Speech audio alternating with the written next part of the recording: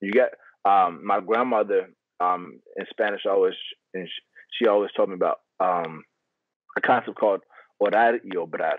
Mm. Right, she's Cuban, mm-hmm. and so um, I'm gonna take a little segue um, where she talks about how um, you know there's she gives a little story where it, what that means is like you can't just pray, you got to work too. Mm. Um, and so essentially, essentially, a pastor goes to a man who's unemployed for like 12 months, and then she he's like, um, you know, what how how how you been, sir? How you been doing? Like, how's the job search?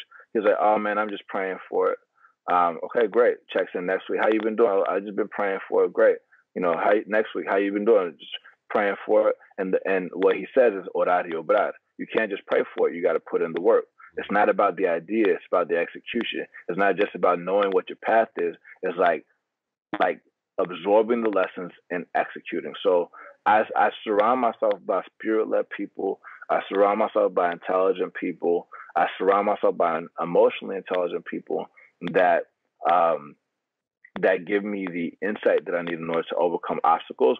And um, and I recognize that most things that I have in life, that I will ever get in life, now and forever, I probably won't get it the first time, mm. and that's okay. You know, that just makes the story better. So mm. that's how that's how that's how I operate.